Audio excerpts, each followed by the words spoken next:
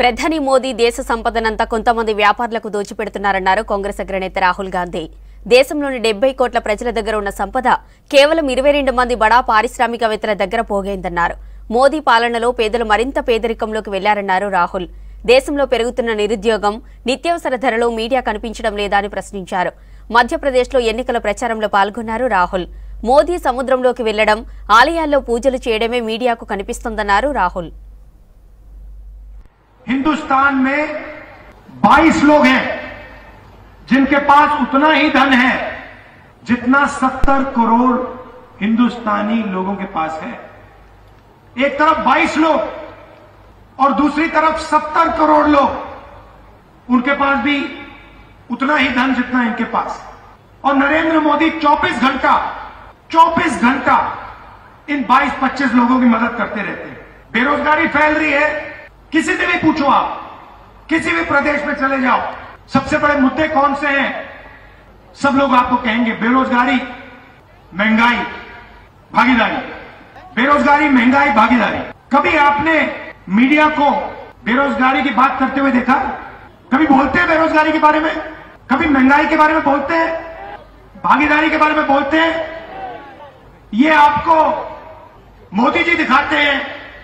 कभी हवाई जहाज़ में उड़ते हुए, कभी समुद्र के नीचे जाते हुए, कभी मंदिर में पूजा करते हुए, राम मंदिर का उद्घाटन हुआ। राष्ट्रपति को मना किया। क्यों? क्योंकि वह आदिवासी थे।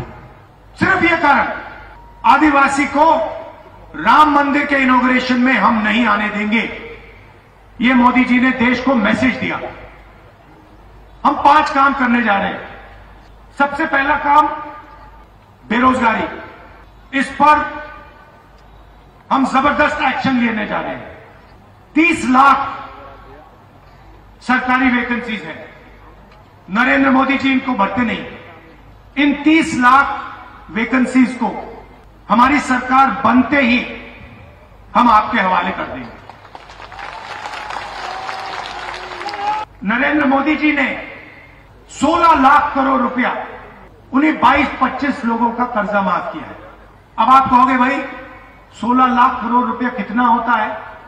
इतना बड़ा नंबर है। मैं आपको बताता हूँ। 24 साल का मनरेगा का पैसा 24 साल मनरेगा का पैसा नरेंद्र मोदी जी ने 22-25 लोगों का कर्जा माफ़ किया 24 साल का मनरेगा का पैसा उन्होंने उनको पकड़ा दिया 22 लोगों को। किसानों का कर्जा कभी माफ़ नहीं करते। छत्तीसगढ़ में आपको याद होगा, हमने किसानों का कर्जा माफ़ किया, किसानों को सही दाम दिलवाया, धान के लिए सही दाम दिलवाया। अब हम वो देश में करने जा रहे हैं। जैसे ही हमारी सरकार आएगी, हमारा सबसे पहला काम किसानों का कर्जा माफ़ होगा और जो लीगल कानूनी एमएसपी हम हिंदुस्तान के किसान को देने जा रहे हैं।